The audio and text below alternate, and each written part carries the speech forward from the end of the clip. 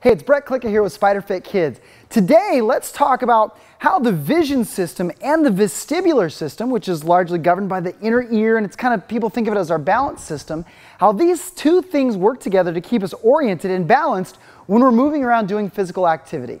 And to do that, I want to show you what's called the vestibulo-ocular reflex. Now, that's a big word, but really what that means is our body has this really cool little reflex. If everything's working right, that we're able to fixate on an object. We can watch something happen and move our head around, but, but despite moving our head around, our eyes can stay fixed on that object. So here, I'll show you what we're talking about with Ian.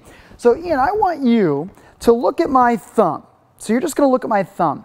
But now you're gonna turn your head to the right, but I want your eyes to stay on my thumb. Notice his eyes automatically stay fixated. Now turn your head to the left. Now let's look down. Notice his eyes look up. His eyes automatically do that reflexively. Turn your head up. That's it. Head up. That's it. Head down to the right. Brings his head down. Notice how his eyes now up to the left.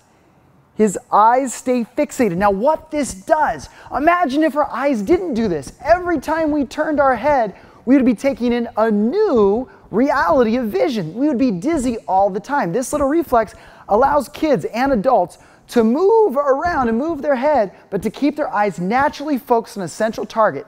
Now, some children doesn't work at the vestibular system. If there's a vestibular problem, that doesn't work. These children are obviously going to be dizzy most of the time. They're not going to like physical activities, particularly when they're outside running. So if you have a child that's outside running, playing games, and they're always feeling sick or they don't enjoy it, you might want to check to see if that's something that's working for them. So again, this is Brett Klicka with SpiderFit Kids. Thanks for coming out. Let's learn about the senses because that's truly the foundation of what creates a happy, healthy, active child. We'll see you soon.